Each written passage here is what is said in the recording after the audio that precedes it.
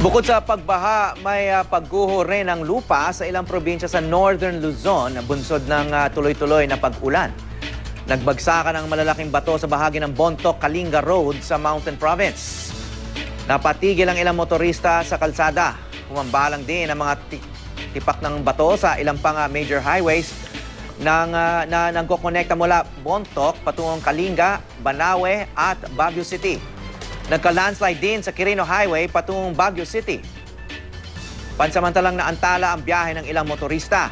Wala namang napaulat na nasaktan sa parehong insidente ng landslide.